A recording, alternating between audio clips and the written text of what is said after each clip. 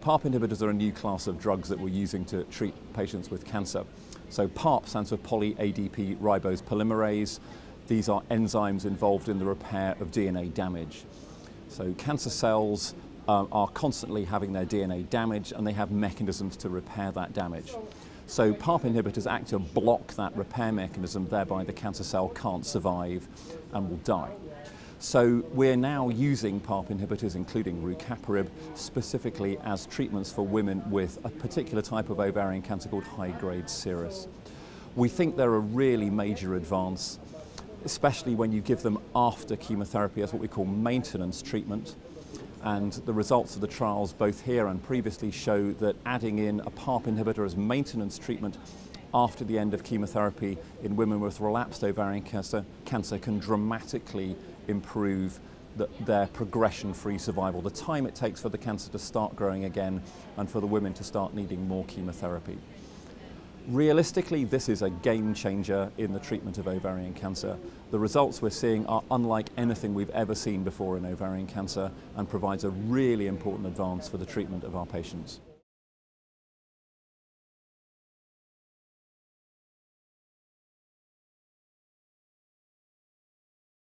At the moment, all the trials of PARP inhibitors that we have seen the results of are in relapsed disease.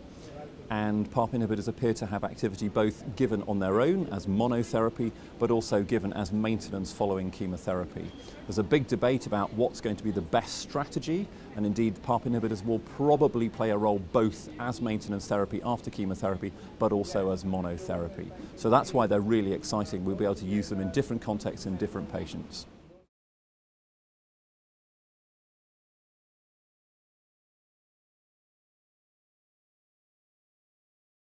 So the Ariel 3 study recruited women with relapsed ovarian cancer who'd then been treated with platinum chemotherapy for their relapsed disease and had responded.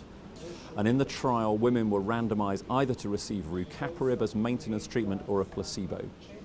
Um, it, Ariel 3 was a really interesting design because it was, it, we looked at three groups of patients.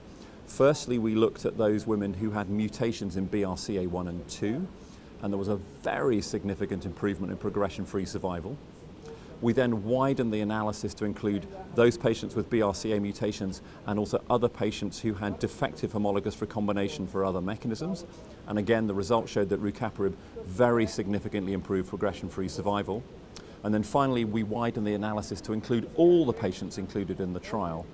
And that's where it was most interesting because we thought that the greatest benefit for the PARP inhibitor would be only in those women with BRCA mutations or defective homologous recombination.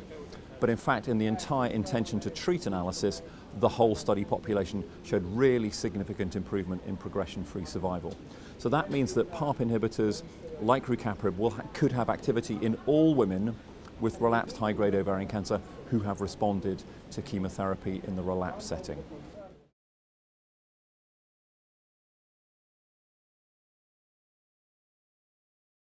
So Ariel 3 is now the third trial of maintenance PARP inhibitor in relapsed ovarian cancer.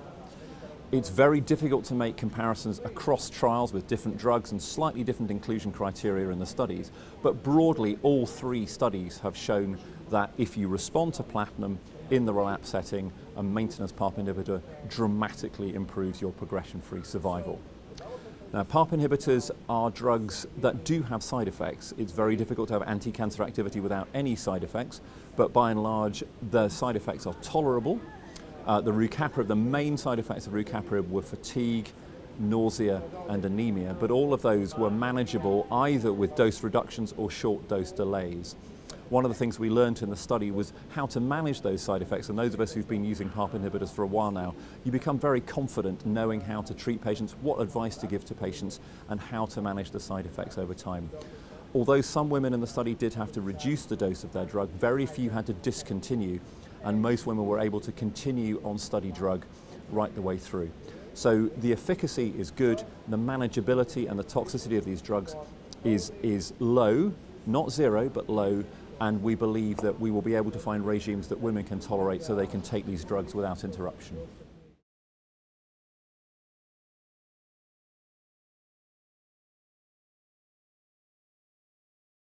I think that's a really easy question to answer. Yes. So uh, routine availability of these drugs for women outside of clinical trials will be a game changer for women with ovarian cancer. There is no doubt about that in my mind. Uh, and now clearly there are regulatory processes that have to be gone through uh, and different countries will have to decide how they're going to provide these drugs. But broadly speaking, if these drugs are routinely available to women with ovarian cancer, it will dramatically change the way we treat the patients and their outcomes.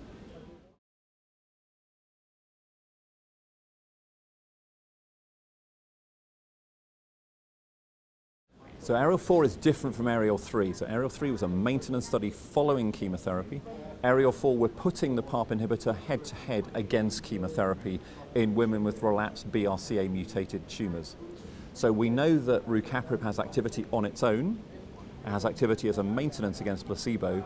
We've never actually done a direct head to head comparison.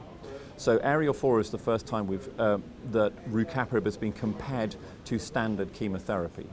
So in a way we're asking, is it acceptable or effective just to take a tablet every day rather than having intravenous chemotherapy with all the side effects that we know chemotherapy can have?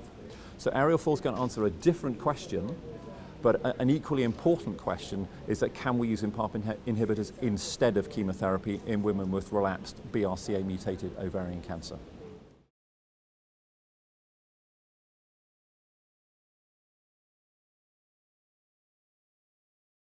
So I've got to be careful. I'm, I'm an ovarian cancer oncologist, so um, that's the only disease I treat. But there are other cancers where we see similar genetic defects as we see in high-grade ovarian cancer.